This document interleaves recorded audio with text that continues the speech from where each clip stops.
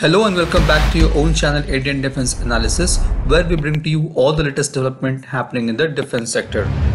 Light Combat Aircraft LCA Tejas is a combination of latest concepts and technologies like relaxed static stability, advanced glass cockpit, integrated digital avionics, fly-by-wire, flight control and advanced composite materials for the airframe. The aircraft with 4.5 generation capabilities is equipped with air-to-air missiles, air-to-surface missiles, anti-ship missiles, bombs and rockets. It is the lightest multi-role supersonic aircraft of its class. It can travel at a maximum speed of 2205 km per hour for FOC version and 2000 km per hour for the IOC version. Mk-1A version of Tejas is going to be outfitted with modern AESA radar glass cockpit, helmet mounted display and sight, electronic warfare suite and new avionics. LCA Tejas brings all the advanced capabilities with an attractive price tag of rupees 280 crore per trainer aircraft and 309 crores for Tejas Mk-1A which is again cheapest among all the trainer aircraft with 4.5th generation capabilities.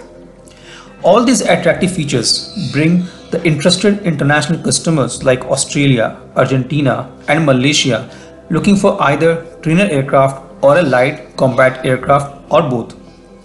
HAL has offered LCA Tejas to these countries. However, there are some export challenges which we will discuss about it in both the cases.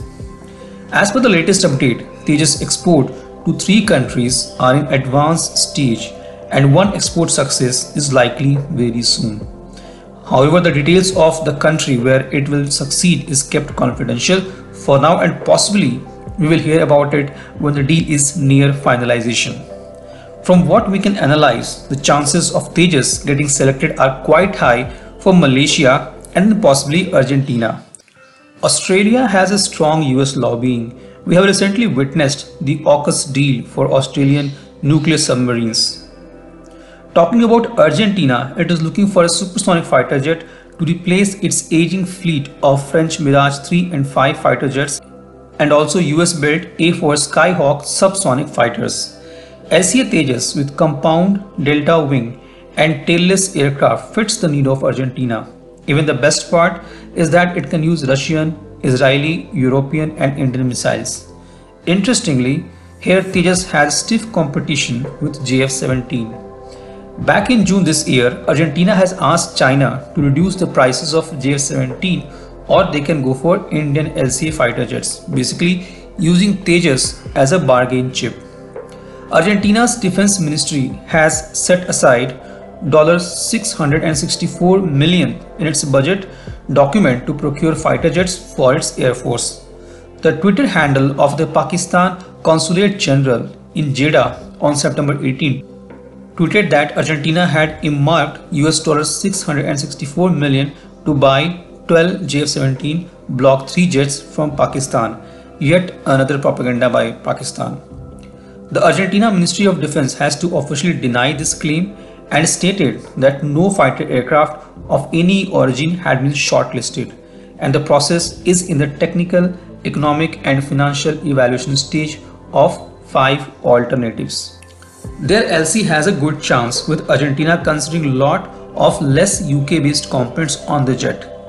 We're talking about UK based component because Argentina and UK has long historical rivalry.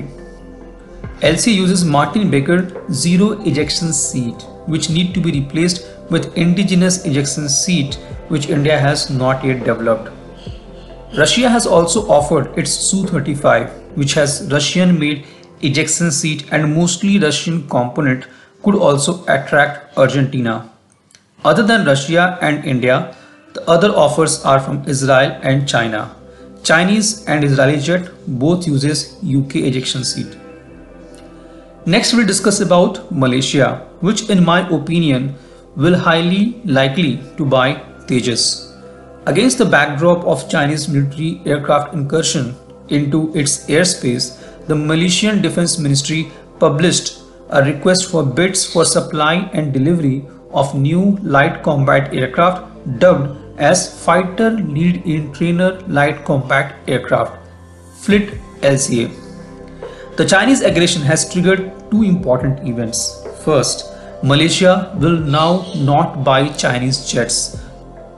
Otherwise, it will have to depend on China for its spare parts, maintenance, and weapon packages. China will definitely use this as a tool to bargain in its own interest. Second, in the lights of recent incursion to Malaysia's exclusive economic zone, its air force is now looking for urgent procurement of fighter jets. Recently, an MOU was signed with Metals and Minerals Trading Corporation of India as channelizing partner for import of palm oil for likely counter trade for sale of LCA Tejas to Royal Malaysian Air Force.